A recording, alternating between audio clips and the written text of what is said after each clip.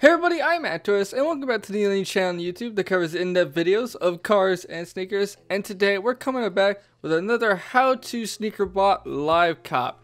As you can see, we got a little upgraded this time around. We got Sole AIO instead of NSB. And we are going for the Adidas South Park collab. This is going to be a really hyped and limited sneaker, so hopefully we can cop. If not, I'm not too bummed out because I'm still kind of a beginner at this. So we'll just see how it goes.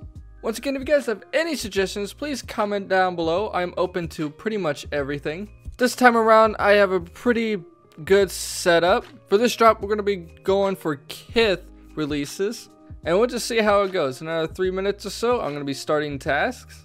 So, wish me luck.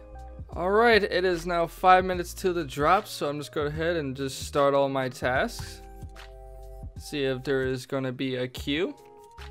Alright. And we are pulling queue. And it says error loading sizes.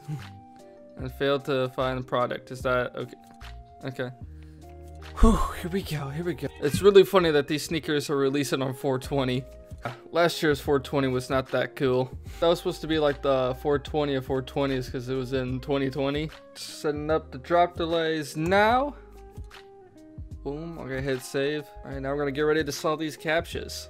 It says error loading shipping. What? So it's just waiting for restock. Come on, come on, baby, give me something. Yeah, I don't think I don't think they have dropped yet. Have they like on the site? Holy shit.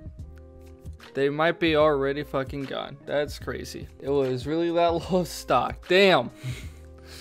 Damn, this would have been a really nice sneaker to have. really unique sneaker too. Just checking the restock monitors, dude. Just it's pretty, pretty uh, stale. Just up and delayed to 6,000 now, just waiting for restocks. Just gonna have my test running for a little bit now, just waiting for anything to drop. Damn, so it looks like Kith never even dropped it. I went for the wrong website this time.